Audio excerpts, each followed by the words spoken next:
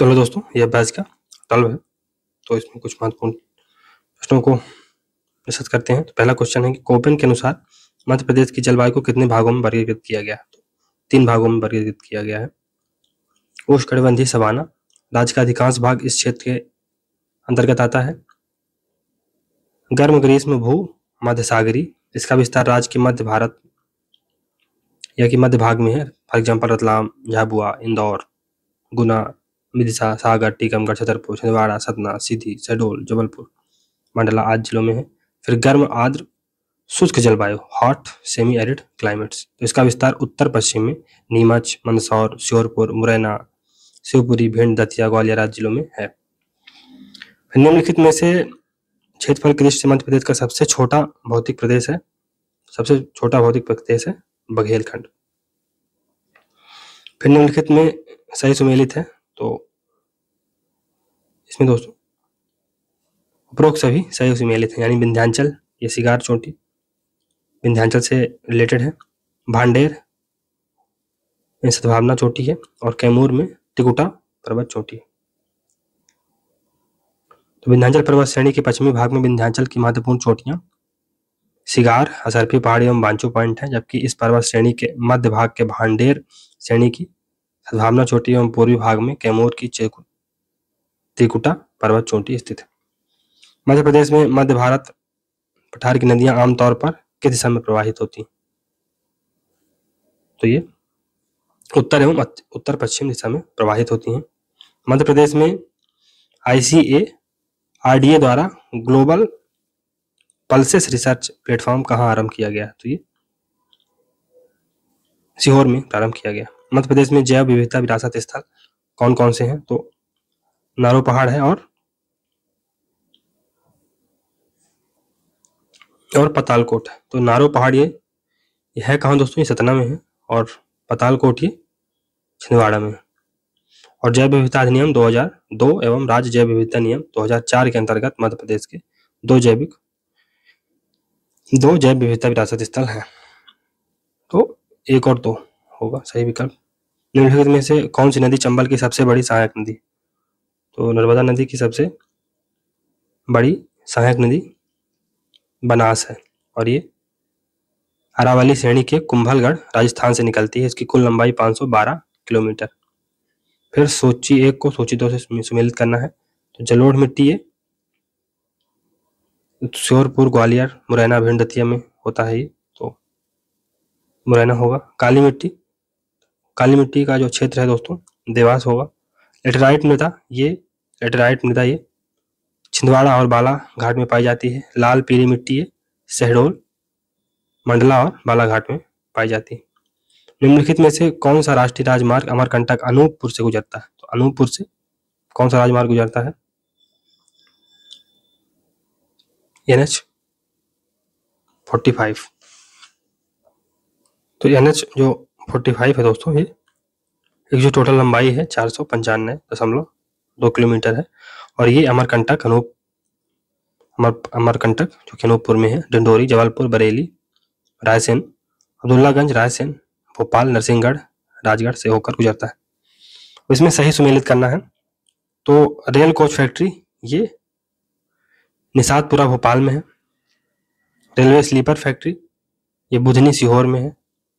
Railway spring factory. ये दोस्तों, railway spring factory है ग्वालियर में है। और बैगन रिपेयर वर्कशॉप ये सतना में। बैगन रिपेयर वर्कशॉप ये सतना में railway coach factory Nishatpura Bhopal. Railway sleeper factory Budhni Sehore railway spring factory, Gwalior. Wagon repair workshop Satna. Electric loco shed, electric loco shed ये कटनी, इटारसी में। रेलवे रिक्रूटमेंट बोर्ड भोपाल में है diesel locomotive संयंत्र ये शेरपुर, सीहोर में। फिर कौन सा सही सही सुमेलित नहीं है? तो इसमें दोस्तों डी नंबर यानी इंदिरा सागर परियोजना ये सही सुमेलित नहीं इसकी जो क्षमता है, ये एक हज़ार मेगावाट है ना कि दो हज़ार मेगावाट और जो इसकी आधारशिला रखी गई थी कब? उन्नीस में। और ये खंडवा के खंडवा के पुनासा ग्राम में निर्मित है। और इस परियोजना से 2004 से 1000 मेगावाट विद्युत का उत्पादन होता है। फिर सरदारपुर सरदार सरोवर परियोजना से 1450 मेगावाट ओमकारेश्वर परियोजना से 520 मेगावाट और रानी अवंती परियोजना से 90 मेगावाट। मध्य प्रदेश में इंदिरा किसान ज्योति योजना कब लागू की गई थी? तो ये दोस्तों, एक अप्रैल 2019 को लागू की गई थी। सोची एक को सोची दो से मिलाना है। तो अमरकंटक ताप विद्युत केंद्रीय, अनूपपुर ज़िले में है। सतपुड़ा ताप विद्युत केंद्र ये पाथरखेड़ा में है और विंध्याचल ताप विद्युत केंद्र मैडन में पंच विद्युत केंद्र छिंदवाड़ा। तो सही, सभी सभी सही सुमेलित हैं।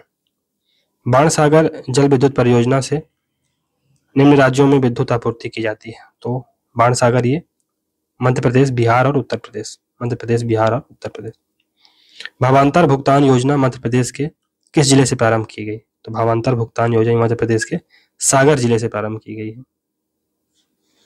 और 16 अक्टूबर 2017 को इसको शुरू किया गया था। 16 अक्टूबर 2017 को। और इसके अंतर्गत टोटल आठ आठ फ़सलों सम्मिलित किया गया है। सोयाबीन, मूंगफली, तिल, राम तिल, मक्का, मूंग उड़द तुअर दाल आदि। फिर सोलहवा क्वेश्चन है कि मध्य प्रदेश पशुधन एवं कुक्कुट विकास निगम की स्थापना कब की गई? तो इसकी स्थापना दोस्तों 19 नवंबर उन्नीस सौ बयासी को किया गया। 19 नवंबर उन्नीस सौ बयासी को और इसका मुख्यालय भोपाल में, मुख्यालय भोपाल में। फिर कौन सा सही सुमेलित नहीं है तो जीवाजी सुगर मिल उज्जैन में नहीं, जीवाजी सुगर मिल ये दलौदा, मंदसौर में, दलौदा, मंदसौर में है।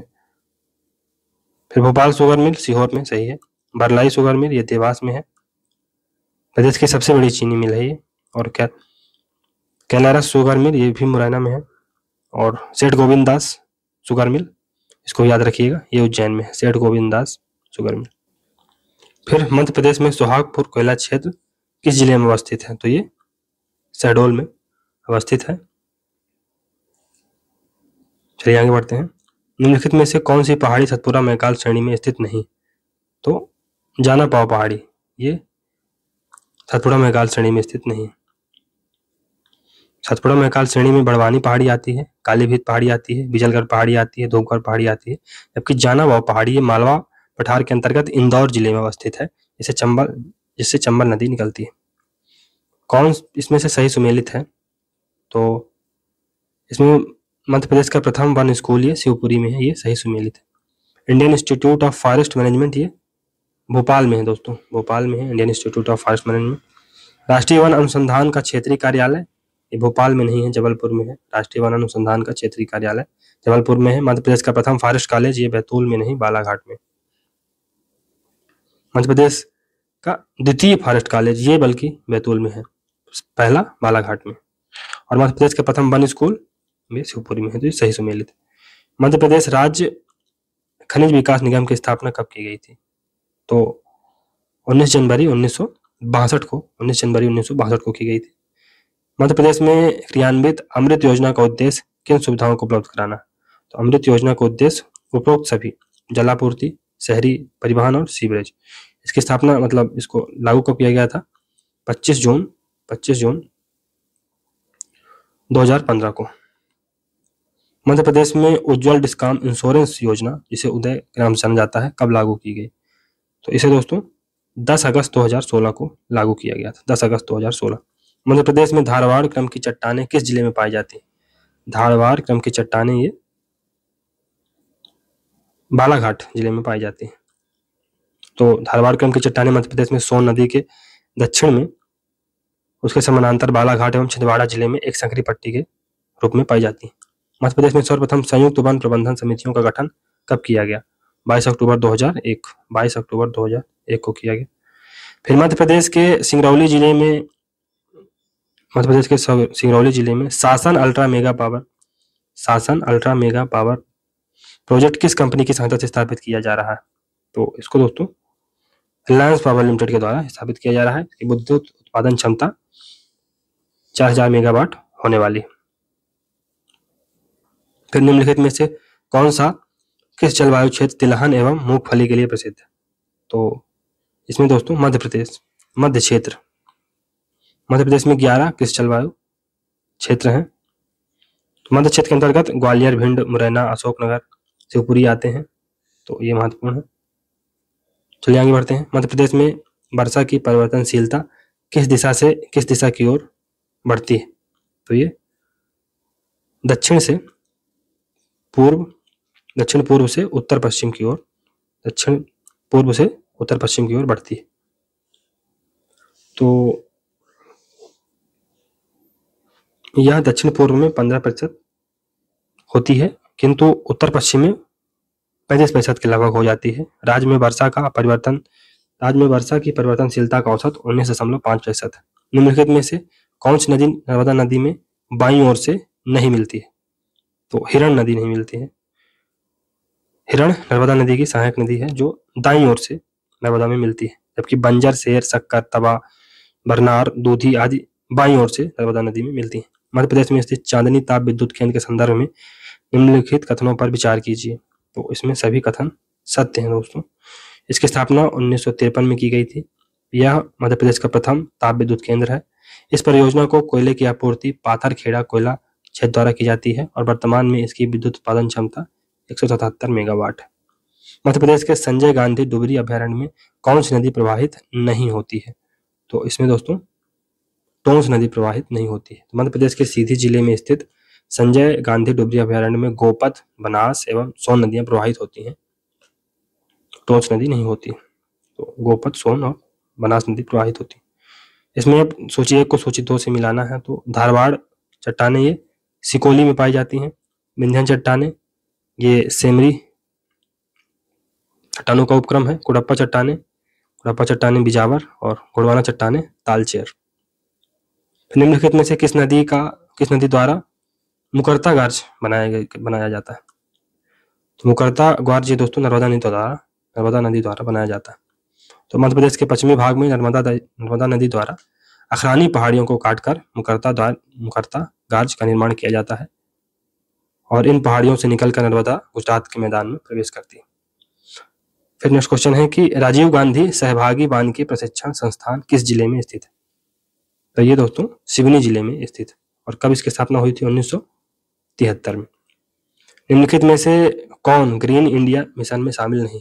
तो ग्रीन इंडिया मिशन में छतरपुर, पन्ना, लैंडस्केप नहीं शामिल है। ग्रीन इंडिया मिशन के तहत पाँच क्षेत्र शामिल है। कौन कौन Satpura, corridor, Bandhavgarh, Kanha Bandhavgarh, corridor, Kanha Pench, Shivpuri, Gwalior, landscape आज शामिल।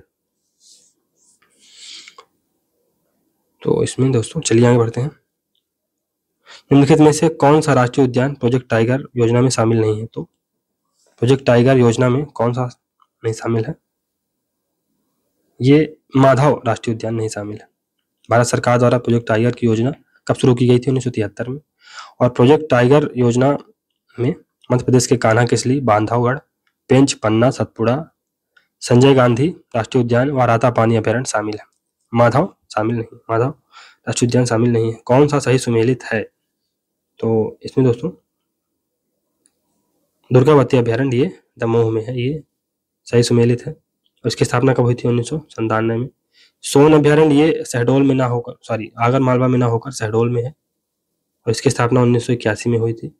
खिवनी अभ्यारण्य ये राजगढ़ में नहीं है, ये कहाँ है? देवास में खिवनी, देवास में है। इसकी स्थापना 1955 में हुई थी।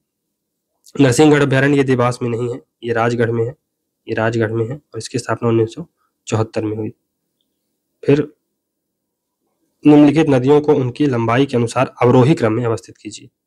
तो इसमें सी नंबर होगा। सबसे पहले नर्मदा होगी दोस्तों। इसकी जो टोटल लंबाई है, तेरह सौ बारह किलोमीटर है। चंबल, फिर दूसरे नंबर पर चंबल। चंबल की नौ सौ पैंसठ किलोमीटर। फिर सोन है दोस्तों तो सोन की सात सौ अस्सी किलोमीटर और ताप्ती सात सौ चौबीस किलोमीटर। निम्नलिखित में से कौन सी नदी सतपुड़ा पर्वत एवं अजंता पर्वत के मध्य प्रवाहित होती है? तो ये ताप्ती नदी मध्य प्रदेश के बैतूल ज़िले से निकलने वाली ताप्ती नदी सतपुड़ा एवं अजंता पर्वत के मध्य प्रवाहित होकर खम्बात की खाड़ी में गिरती है। मध्य प्रदेश में होशंगाबाद ज़िले के अंतर्गत स्थित आगर गाँव किस खनिज के उत्पादन के लिए प्रसिद्ध है? तो ये टंगस्टन के लिए प्रसिद्ध है, टंगस्टन। मध्य प्रदेश के किन जिलों में हलाली नहर द्वारा सिंचाई की जाती है? तो हलाली नहर द्वारा ये विदिशा और रायसेन ज़िले में की जाती है। और मध्य प्रदेश के विदिशा ज़िले में बेतवा नदी घाटी विकास परियोजना के अंतर्गत सात सौ इकसठ किलोमीटर लंबी हलाली नहर का निर्माण कब किया गया था? उन्नीस सौ अड़सठ में। चलिए नेक्स्ट क्वेश्चन मध्य प्रदेश में कौन सी निम्नलिखित में से कौन सी मध्य प्रदेश और महाराष्ट्र की संयुक्त परियोजना है? तो उपरोक्त सभी, बाघ परियोजना, राजीव सागर परियोजना और काली सागर परियोजना, ये सभी मध्य प्रदेश और महाराष्ट्र की संयुक्त परियोजनाएँ हैं। और जो बाघ परियोजना है दोस्तों, ये महाराष्ट्र के सिरपुर में बाघ नदी पर स्थित है। और इससे मध्य प्रदेश के बड़वानी ज़िले में सिंचाई होती है। काली सागर परियोजना, इसकी, ये परियोजना उन्नीस सौ सतहत्तर में प्रारंभ हुई थी और यह मध्य प्रदेश एवं महाराष्ट्र की संयुक्त परियोजना है। यह मध्य प्रदेश के बैतूल ज़िले में काली नदी पर स्थित है। इसे बाघ की पूरक परियोजना के नाम से भी जाना जाता है। राजीव सागर परियोजना, ये मध्य प्रदेश और महाराष्ट्र की संयुक्त परियोजना है, जो बालाघाट ज़िले में निर्मित की गई नेक्स्ट क्वेश्चन क्या है? अब इसमें सही सुमेलित करना है तो जो पुनासा बाँध है दोस्तों, ये नर्मदा नदी पर है। नर्मदा नदी पर है, खंडवा ज़िले में। गांधी सागर बाँध ये चंबल नदी पर है, मंदसौर ज़िले में, मंदसौर में। फिर जो बाण सागर बाँध है ये, सोन नदी पर है शहडोल में। और माटी टीला माता टीला बाँध ये, बेतवा नदी पर है, कहा? ललितपुर, उत्तर प्रदेश। फिर फिर से सही सुमेलित करना है तो जो महेश्वर जल विद्युत परियोजना है यहाँ पर 400 मेगावाट उत्पादन क्षमता है इसकी। अटल सागर जल विद्युत परियोजना, इसकी जो क्षमता है 60 मेगावाट है। तावा जल विद्युत परियोजना, इसकी 1000 मेगावाट। पेंच जल विद्युत परियोजना 160 मेगावाट। मध्य प्रदेश के किस ज़िले में अंतर्राष्ट्रीय गेहूँ एवं मक्का शोध केंद्र स्थित है। तो ये दोस्तों, जबलपुर में है और 2011 में 2011 में मध्य प्रदेश के खमरिया जबलपुर में गेहूँ और मक्का के क्षेत्र में शोध एवं विकास के लिए अंतर्राष्ट्रीय गेहूँ एवं मक्का शोध केंद्र की स्थापना की गई। कब 2011 में? मध्य प्रदेश के निम्नलिखित जिलों में से किन में अधिकतम सरसों का उत्पादन होता है? तो मुरैना और भिंड में। फिर मध्य प्रदेश में किस जोतों का सर्वाधिक औसत आकार किस ज़िले में है? तो ये हरदा में हरदा में। नेक्स्ट क्वेश्चन मध्य प्रदेश का सबसे बड़ा बाक्साइड उत्पादक जिला कौन सा है? तो मध्य प्रदेश का सबसे बड़ा बाक्साइड उत्पादक जिला कटनी है। इसके अंतर्गत जो बाक्साइड है, वो अनूपपुर, अमरकंटक पठार, बालाघाट के बैहर पठार बैहर पठार और सतना के चित्रकूट जिलों में बाक्साइड पाया जाता है। निम्नलिखित में से कौन सा भौतिक प्रदेश मध्य उच्च प्रदेश के अंतर्गत शामिल नहीं? तो कौन सा शामिल नहीं है? बघेलखंड का पठार। तो मध्य प्रदेश का जो भौतिक विभाजन है, उसमें मध्य उच्च प्रदेश सतपुरा श्रेणी और पूर्वी पठार आता है। पूर्वी पठार बघेलखंड के अंतर्गत आता है। और जो मध्य उच्च प्रदेश है उसमें दोस्तों, मध्य भारत का पठार, बुंदेलखंड का पठार, मालवा का पठार, रीवा, पन्ना का पठार और नर्मदा घाटी आती है। सतपुरा श्रेणी के अंतर्गत पश्चिमी श्रेणी में राजपिपला, मध्य श्रेणी में महादेव और पूर्वी श्रेणी में मैकाल और पूर्वी पठार बघेलखंड के अंतर्गत आता है। चलिए नेक्स्ट क्वेश्चन मालवा के पठार के उत्तर पूर्व में किस पठार का विस्तार पाया जाता तो मध्य भारत का विस्तार पाया जाता है और ये मध्य प्रदेश के जो भौगोलिक क्षेत्रफल है उसके दस दशमलव दस दशमलव सात परसेंट। मध्य प्रदेश के पन्ना ज़िले में हीरे की प्राप्ति किस प्रकार की चट्टानों से होती? तो कुड़ाप्पा क्रम की चट्टानों से प्राप्ति होती। और मध्य प्रदेश की जो बिजावर श्रेणी है, पन्ना में हीरा पाया जाता। है कुड़प्पा क्रम की जो चट्टाने हैं दोस्तों, इनका निर्माण धारवाड़ क्रम की चट्टानों के अपादान एवं निक्षेपण से हुआ है। इन चट्टानों में बलुआ पत्थर, चूना पत्थर, हीरा आदि खनिज पाए जाते हैं। फिर नेक्स्ट क्वेश्चन है कि निम्नलिखित में से कौन से ज़िले मालवा के पठार में सम्मिलित नहीं तो मालवा के पठार में बैतूल और नरसिंहपुर सम्मिलित नहीं। Next question Ken Betwa link परियोजना किन दो राज्यों के मध्य संचालित? केन बेतवा लिंक परियोजना ये मध्य प्रदेश और उत्तर प्रदेश के मध्य संचालित है। इसकी जो नींव है 2005 में रखी गई थी। इस परियोजना से जो लाभान्वित ज़िले हैं मध्य प्रदेश के, वो टीकमगढ़, छतरपुरा, पन्ना है। फिर नेक्स्ट क्वेश्चन है कि मध्य प्रदेश में काली मिट्टी का विस्तार कहाँ नहीं पाया जाता?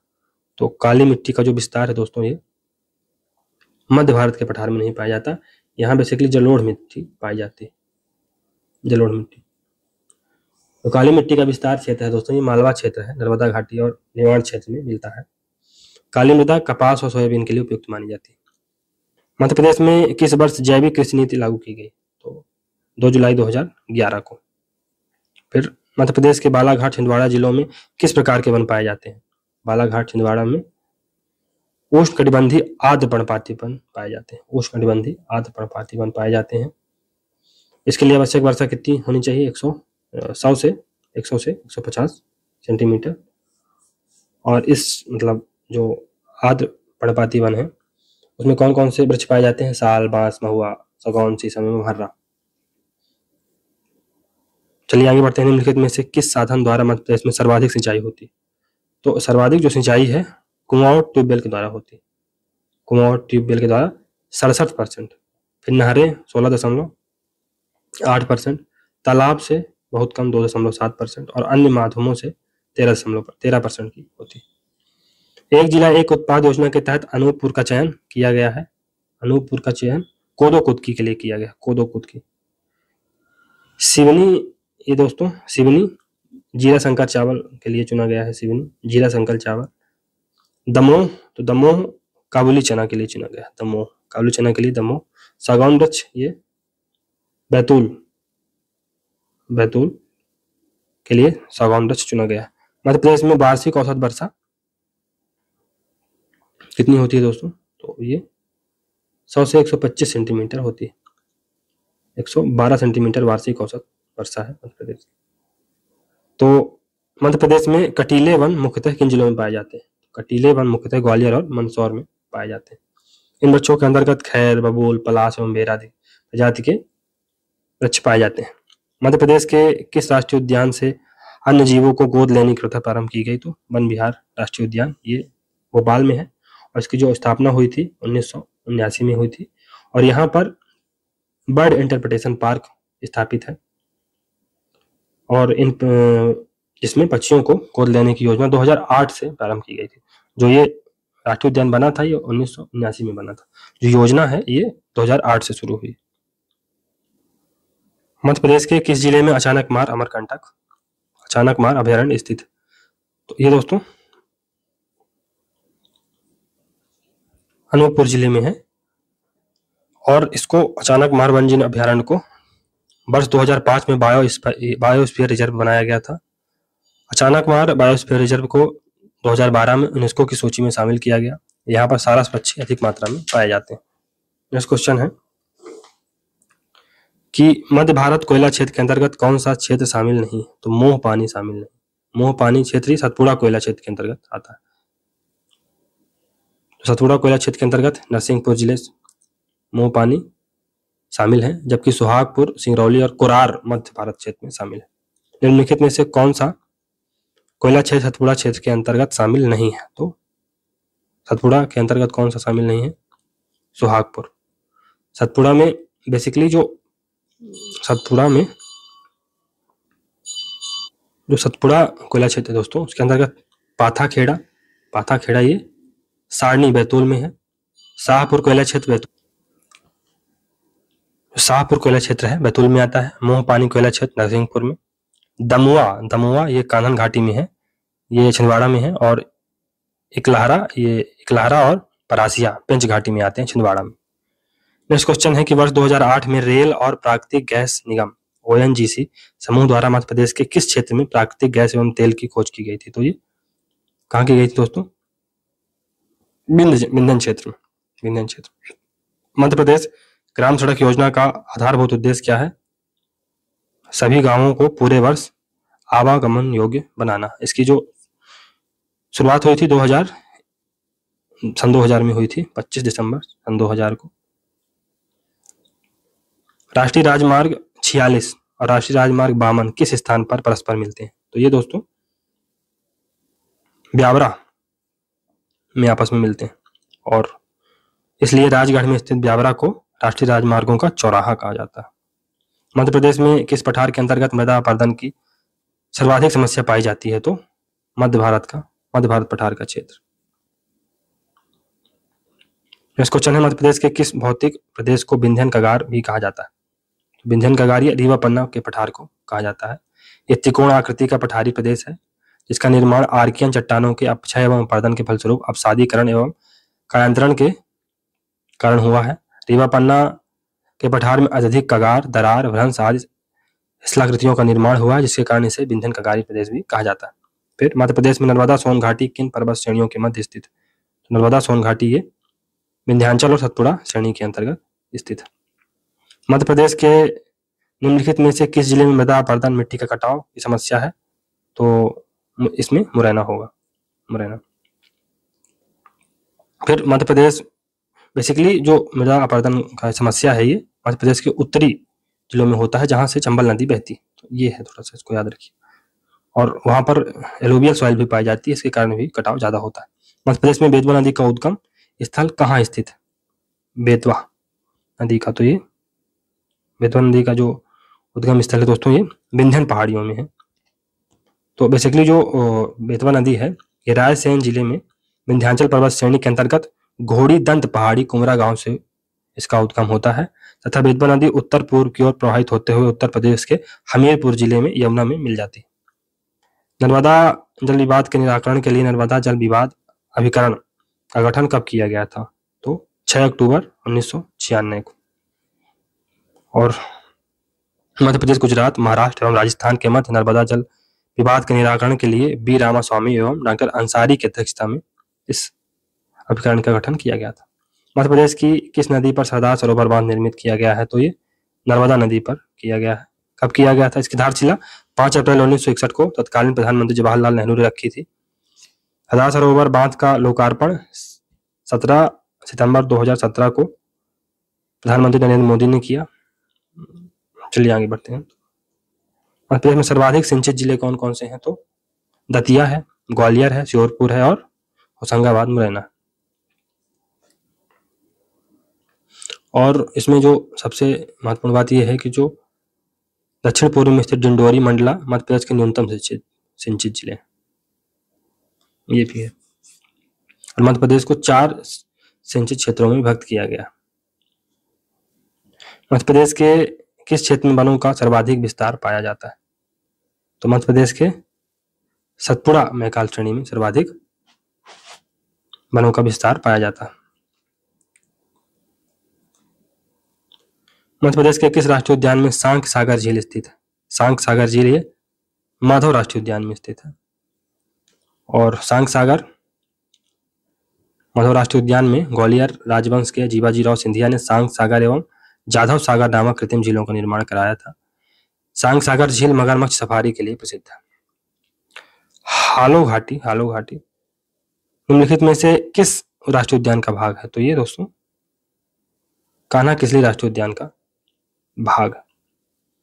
फिर मध्य प्रदेश के एग्रीकल्चर बेयर हाउस एक्ट कृषि गोदाम अधिनियम, कब अधिनियमित किया गया था? तो ये वर्ष उन्नीस में अधिनियमित किया गया था। 30 दिसंबर उन्नीस को। फिर मध्य प्रदेश का कौन सा क्षेत्र बागसाइड तांबा और डोलोमाइट के लिए प्रसिद्ध है? कौन सा क्षेत्र? तो बालाघाट क्षेत्र। बाक्साइड तांबा और डोलोमाइट के लिए प्रसिद्ध है। तो मैग्नीज ये भारवेली की चट्टानों में मतलब भारवेली की खदान है। तांबा तांबा में मलाज खंड और बालाघाट में बाक्साइट और डोलोमाइट का भी भंडारण पाया जाता है। चलिए आगे बढ़ते हैं तो। इसमें जो मध्य प्रदेश का कोयला क्षेत्र है, मध्य प्रदेश का कौन सा कोयला क्षेत्र सबसे छोटा कोयला क्षेत्र है? तो ये उमरिया क्षेत्र सबसे छोटा है। जो उमरिया कोयला क्षेत्र है दोस्तों, ये मध्य भारत कोयला क्षेत्र के अंतर्गत आता है। टोटल दो कोयला क्षेत्र हैं। कौन कौन से? मध्य भारत और सतपुड़ा तो उमरिया ये, मध्य भारत कोयला क्षेत्र के अंतर्गत आता है और ये सबसे छोटा कोयला क्षेत्र है। मध्य प्रदेश के शहडोल ज़िले के अंतर्गत आने वाला सुहागपुर कोयला क्षेत्र मध्य प्रदेश का सबसे बड़ा कोयला क्षेत्र है, जबकि सिंगरौली कोयला क्षेत्र दूसरे स्थान पर है। फिर कुछ एयरपोर्ट हैं और उनको सुमेलित करना है। तो राजा भोज इंटरनेशनल एयरपोर्ट ये, भोपाल में है। देवी अहिल्याबाई इंटरनेशनल एयरपोर्ट ये, इंदौर में है। रानी दुर्गावती या दुमना एयरपोर्ट ये जबलपुर में है और महाराजा छत्रसाल सिविल एयरड्रोम ये खजुराहो में। एशिया महाद्वीप की सबसे बड़ी मैग्नीज खदान भारबेली मध्य प्रदेश के किस ज़िले में है? बालाघाट में है।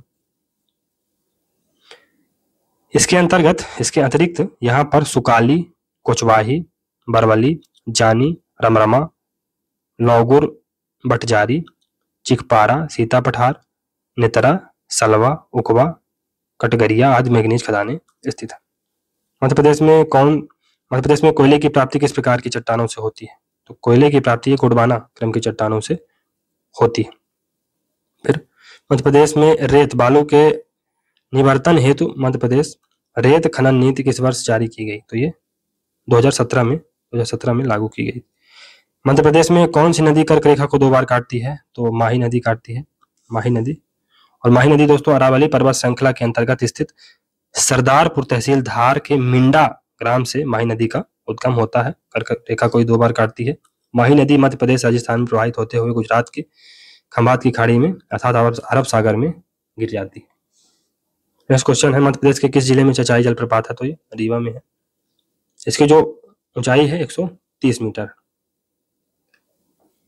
चचाई को मध्य प्रदेश का नियागरा जलप्रपात भी कहा जाता है। रीवा ज़िले के सिरमौर में है ये, और टोंस नदी, तमसा, ये सहायक बीहड़ नदी पर है। निर्माण क्षेत्र की प्रथम योजना के रूप में किस सिंचाई परियोजना को स्वीकृत किया गया? तो बिंजलवाड़ा सिंचाई परियोजना 2018 में 5 सितंबर 2018 को इसको स्वीकृति स्वीकृति मिली है, और ये खरगोन में बेसिकली लगाया जाएगा। खरगोन ज़िले के भीकन गाँव में।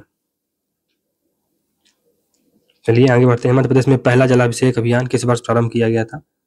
तो ये 2006 में प्रारंभ किया गया था। इसका उद्देश्य क्या था? जल संरक्षण और संवर्धन। दो अप्रैल 2006 को। मध्य प्रदेश में जल प्रबंधन तथा सुदृढ़ सिंचाई सुविधा के उद्देश्य से कमांड क्षेत्र विकास कार्यक्रम का प्रारंभ किया गया। तो ये दोस्तों 9 सितंबर 2000 9 सितंबर उन्नीस सौ चौहत्तर, नौ सितंबर उन्नीस सौ चौहत्तर को। इसमें टोटल तेईस परियोजनाएँ सम्मिलित है। और वर्तमान में मध्य प्रदेश में आठ कमांड क्षेत्र तैयार किए गए मध्य प्रदेश में महासिर मछली को राजकीय मछली का दर्जा कब प्रदान किया गया? तो इसको 26 सितंबर 2011 को राष्ट्रीय दर्जा प्रदान किया गया है। महासिर मछली इसे टॉर, प्यूटी टोरा भी कहते हैं, वैज्ञानिक नाम है इसका। और इसे वर्ष 2012 में आयुसीएन के रेड लिस्ट में विलुप्त की श्रेणी में रखा गया है।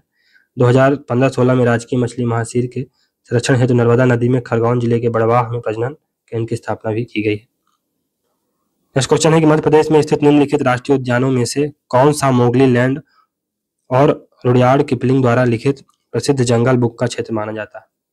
तो ये पिंच राष्ट्रीय उद्यान है। पिंच राष्ट्रीय उद्यान।